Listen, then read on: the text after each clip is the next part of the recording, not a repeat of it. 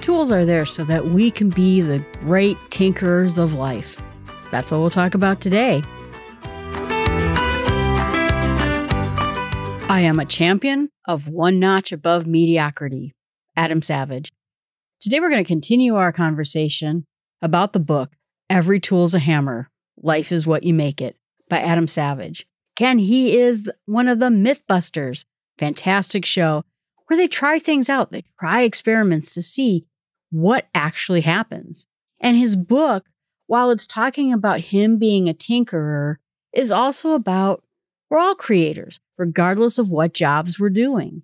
We're all creators in how we present things.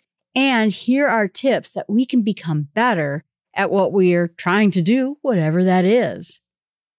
So we'll pick up the conversation where he talks about deadlines. And he said deadlines are the fix to all sorts of problems if we get paralyzed by analyzing things too long. Or we have perfectionism problems, procrastinations. When you have deadlines, it will force you into making decisions. It will force you into moving because you want to get things done. And so while sometimes I think we look at hobbies and other activities we're doing as I don't want a deadline, I'm building something for fun.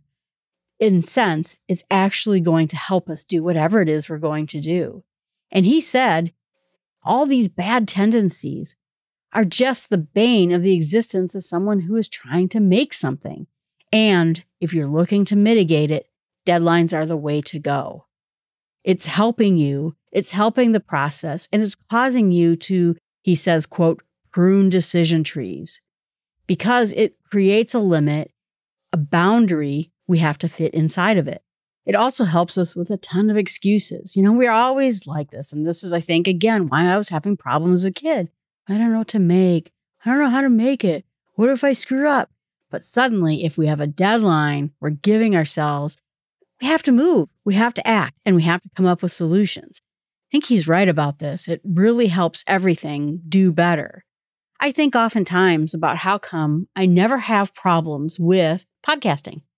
I have no problems with it at all. I don't even have to put it on my calendar. I don't have to create a project plan. I don't have to do any of the things I do at work to podcast. And I think because it has a deadline.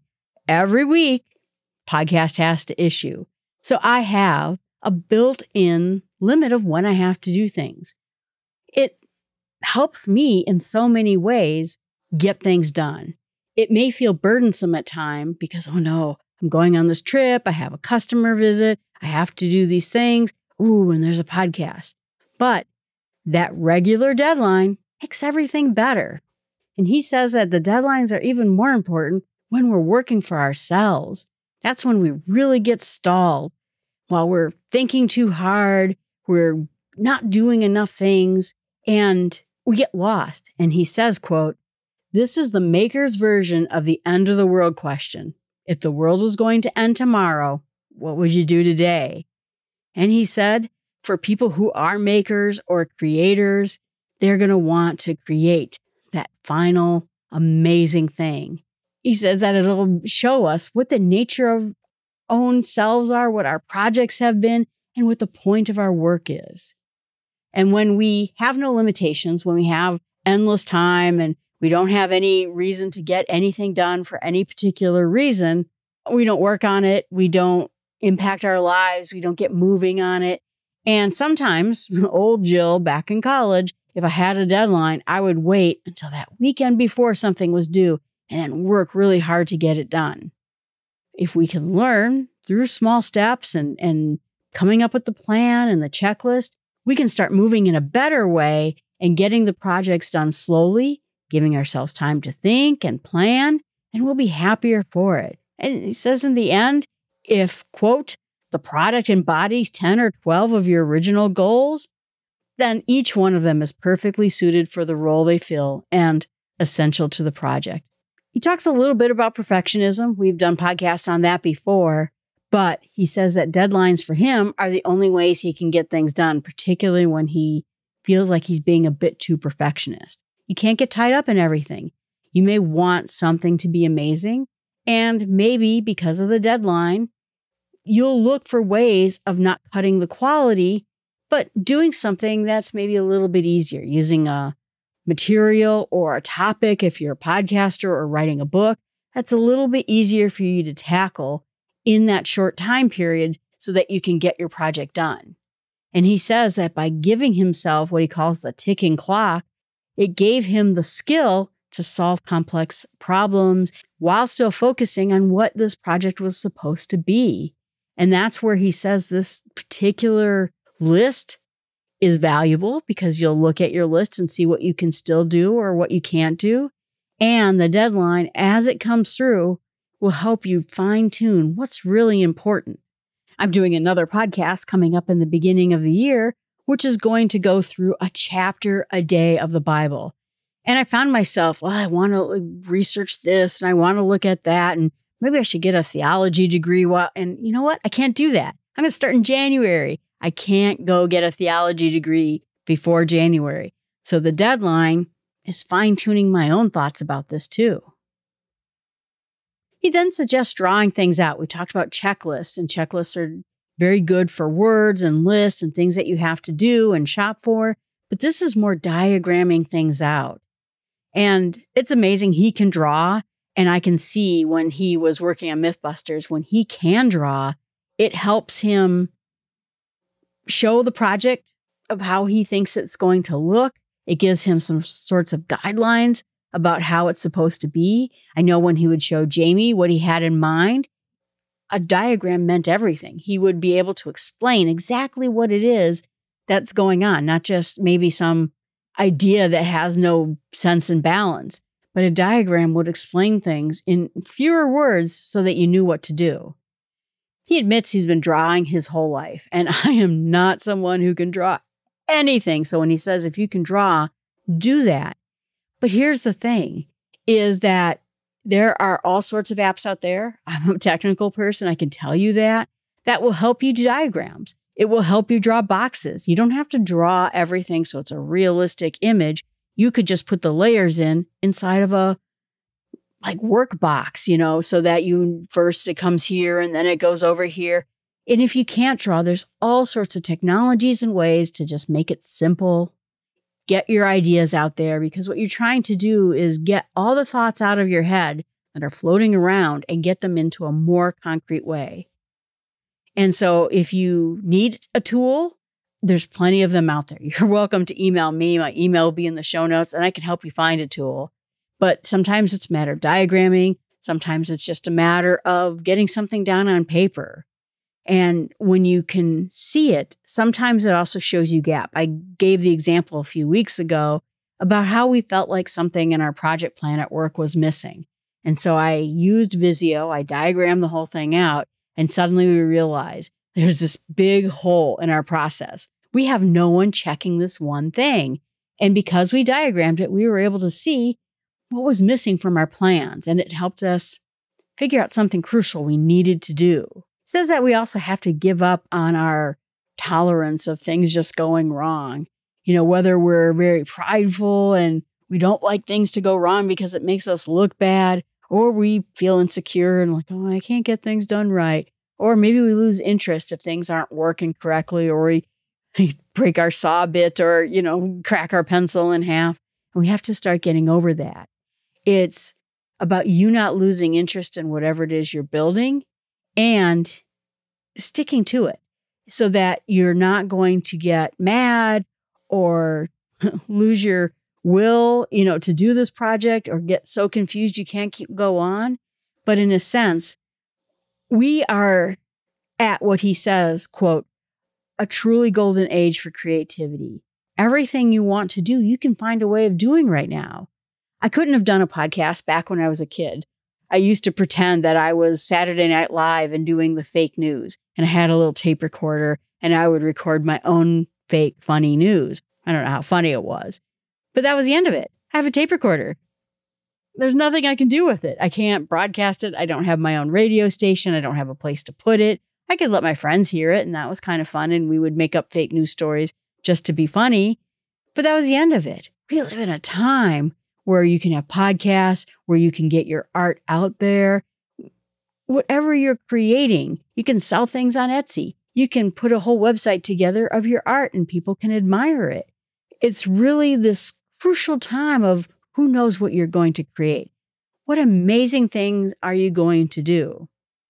I thought what was funny is I was listening to someone talking about kind of the internet age and how every child was going to be a creator and everyone was going to pick up and build something amazing. Everyone will be a blogger uh, and have a biography out there, the story of their lives. And what they found is that that wasn't necessarily coming true with the internet. People, for the most part, were just consuming. They were just watching TikTok videos and they were just watching things. And so, even though you have the potential to create darn near anything right now and find other people who want to create that thing with you, people just aren't doing it. And so, this is the call for creativity to go out there and do the things you want to do. But he talks about that if things are going to go poorly, he says that the tech world has all sorts of um, phrases about fast, fail, or move fast and break things, fail and then learn from it. And that's always been a great way of learning something is that you try it. And if it doesn't go so well, you do it better the next time. And you try again and each time you get better and better part of it, he says, quote, learn by doing poorly, building little models and seeing what goes wrong and what goes right, or building whatever it is you're going to build and say, hey, you know what? I don't like how that worked. I'm going to do it a little bit better the next time. Back at the beginning of the pandemic, when there were no masks anywhere, I was caring for some people who were older and my family too, and no one could get their hands on any masks. So I have a sewing machine. I also have quilting material. I took all the material I was going to take out and eventually make into a quilt and started building masks out of it. And I looked at some YouTube videos about how to sew masks and I found a few patterns I thought looked promising. I tried them out. Some of them did not work at all. They didn't fit at all. They didn't fit anyone's face at all. And then I started finding, okay, so I need something a little bit more fitted on the side. Watch another video. Okay, that one is more fitted. And I kept this process of iteration going. So eventually I had a mask that fit perfectly, but still I was terrible at sewing them because I hadn't sewn anything in ages. But you know what? My first 10 masks were pretty terrible, but my next 10 masks were okay. And then suddenly I was making very good masks. It started working out. I ended up sewing like 140 of them because I got better and better at it. And I think that's what he's talking about here you're going to be terrible at it at first. But here's the thing is that you're going to make mistakes. And that is just the way it goes. It's the way all of it goes. And if you think anyone did anything properly the first times they did it, start looking at some of actors and actresses' first movies or TV shows. Pretty terrible at it. Sometimes they're downright awful. They get better at it. It's always why I never try to give up on TV shows that are brand new because they eventually, probably after three, four episodes, get their groove. And you're going to get your groove, whatever it is you're trying to do.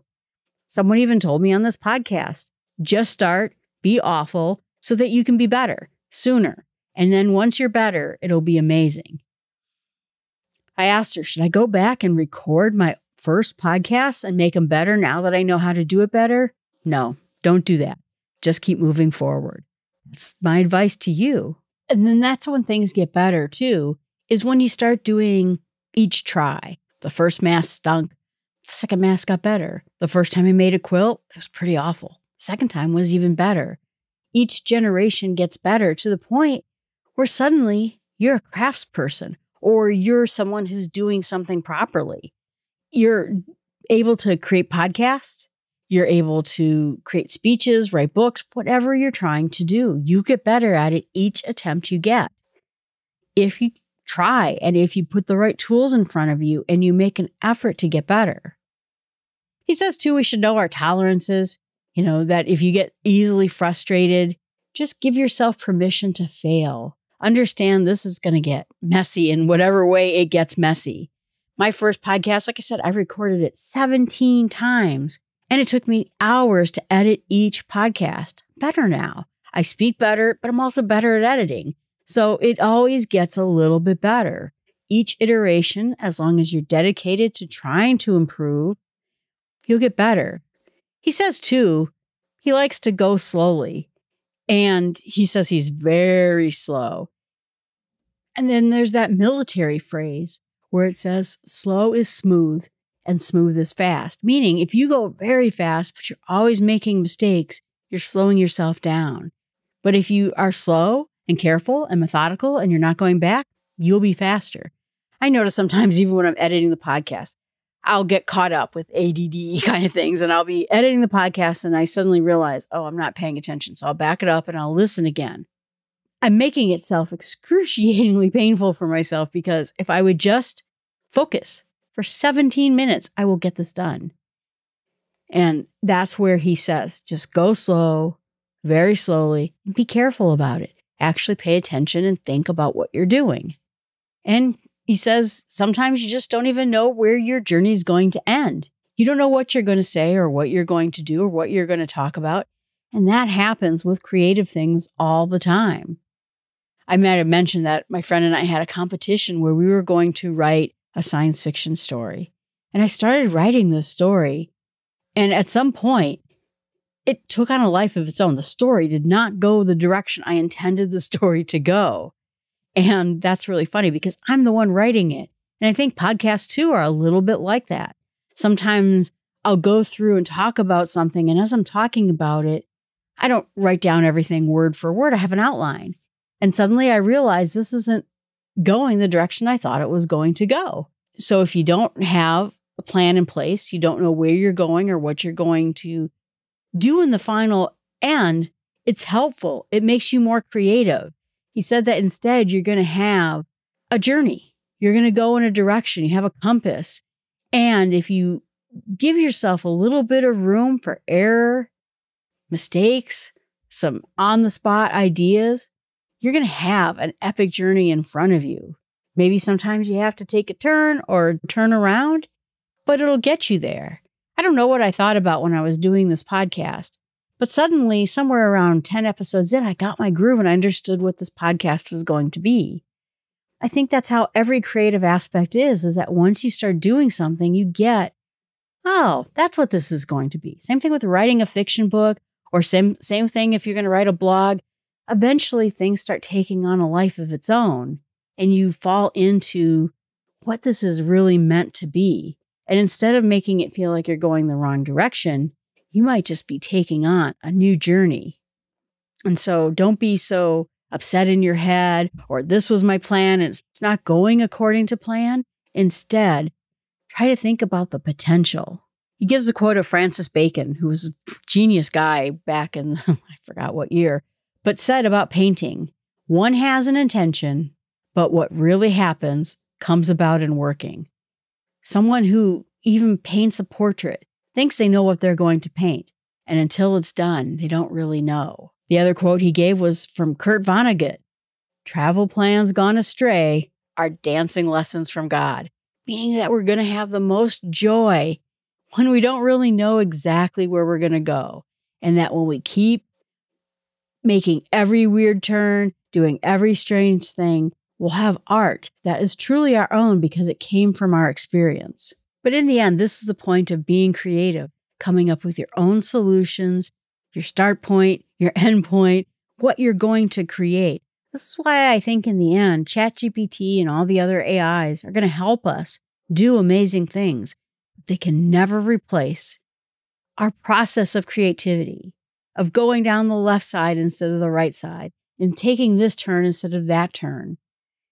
Someone said once that AI will be able to create a song that sounds like the Beatles, but it'll never evolve to be the Beatles 10 years down the road about adapting as an artist or changing as a person. And while this podcast goes on, it's all me and it's all of us and what the things that we're trying to learn and do. And there's no way I even know what it's going to look like in 10 years. So you just have to keep moving forward and doing what you figure out and what you feel like doing. And he says, quote, it's good to have a North Star to move towards. The fact is that we're not knowing where things are going to end up. But he says, quote, no amount of ideation, whiteboarding, storyboarding, gaming out options will show you your true destinations. You will only know them when you arrive. Wow, that is a sentence. So, my challenge to you is try to diagram out one project you're working on. Doesn't have to be pretty, it can be stick figures, it can be boxes around words, but try creating a flowchart, a diagram of what your end product is going to look like. Heck, you could even cut out photos that you get off the internet and print off and put them on a foam board. But see if visualizing your end goal can help you figure out where you're going next and help you go whatever North Star direction you're trying to go. All right, everyone, thanks so much. I appreciate you listening to the podcast. Please remember to always email me at jill at startwithsmallsteps.com and tell me what you think. Tell me if there's a topic you would be like, or if you're looking for a tool or a book to help you get out of a rut. Maybe we could even talk about it on this podcast, but I'll give you suggestions. And remember, our walk in becoming a creator starts with small steps.